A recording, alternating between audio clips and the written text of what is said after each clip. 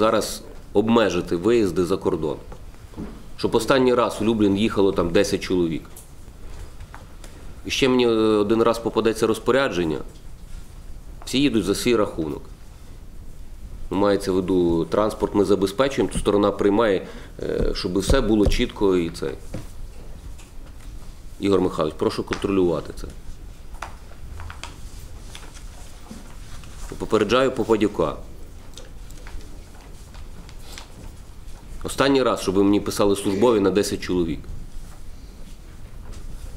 Це не подивимося, подивимося, скільки ви залучите коштів. І Богдан Іванович, запровадьте звіт. За кожну поїздку має бути звіт. Чого їхали, що зробили, хто виступав, хто цей.